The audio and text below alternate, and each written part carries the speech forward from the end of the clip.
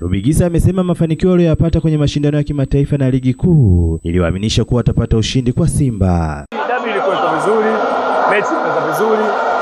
Eh, tatizo ambalo limetokea, si tumepata ushindi leo, lakini tatizo ambalo limetokea kwa Yanga, Yanga wameingia na confidence kubwa sana, wakiamini wao timu yao nzuri sana na kwamba wanaweza wakashinda, lakini historia jinsi inavyosema, timu moja kati ya hizi mbili, timu ambayo inakuwa nzuri sana katika timu hizi ndio inakuwa inafungwa katika dabi yao. Sasa leo sisi tumeingia tukijua kabisa Yanga wamekuwa na sisi. Kwa upande wake, meneja habari na mawasiliano wa klabu ya Simba Ahmed Ally amesema ushindi huo umefufua matumaini yao ya kutoa ubingwa msimu huu. golini hata angedaka Shabaraka, Yanga hawana uwezo wa kupata bao. Hii leo tulikuwa bora kweli kweli, wale wachezaji wao walikuwa wanazungura tu, maskini ya Mungu.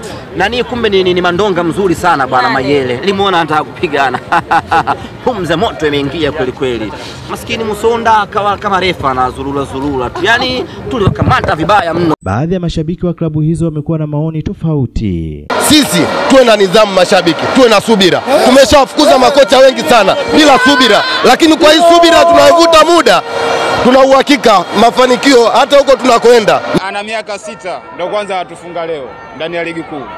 Kwa hiyo kupokea kipigo cha leo ni cha kawaida tu pande. Tunashukuru Mungu kwa matokeo tuliyoyapata, basi wao wao waendelee kufurahia. Watu wengine wanaweza wakajaribu kufanya mtoko wa kibingwa, ila nikwambie hili ni tamasha kubwa na sisi Betika tumeonyesha mfano mkubwa, na kiukweli tunashukuru hizi klabu kwa kutoa burudani ya kipekee kwa mashabiki. Kwa ushindi huo, klabu ya Simba imepunguza alama tatu dhidi ya mtani wake anayeongoza msimamo wa ligi kuu Tanzania bara kwa alama 68. Bwana Shomari, Star TV, Dar es Salaam.